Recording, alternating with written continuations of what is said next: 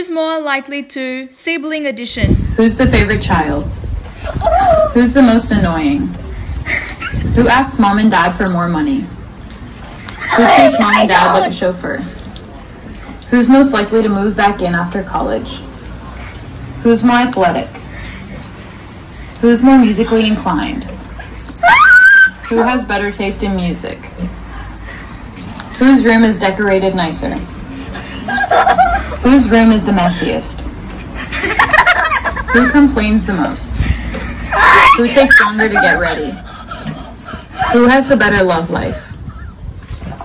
Who's doing better in school? Who watches the most TV?